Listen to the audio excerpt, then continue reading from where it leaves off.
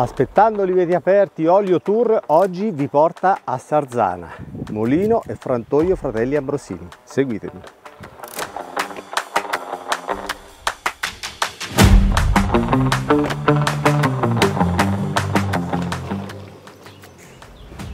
Ciao Roberto, ciao Luigi.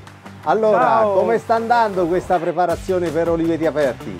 Ben arrivato Leonardo, la nostra azienda ha circa 8 ettari di uliveto. La nostra produzione si basa essenzialmente sull'olio DOP Riviera Ligure. Vi faremo vedere i nostri oliveti, una visita al frantoio con le spiegazioni.